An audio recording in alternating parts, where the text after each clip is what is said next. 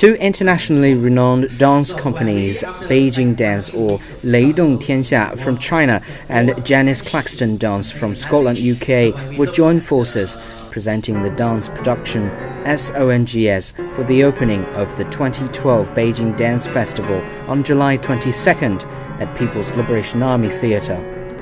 SONGS draws inspiration from and pays tribute to the music of the Polish composer Henryk Górecki, who died in 2010 and was considered one of the great humanist composers of our time.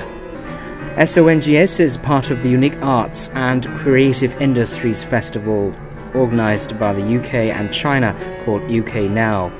UK Now is the largest festival of British arts and creativity held in China bringing hundreds of events to 17 cities across China between April and November 2012.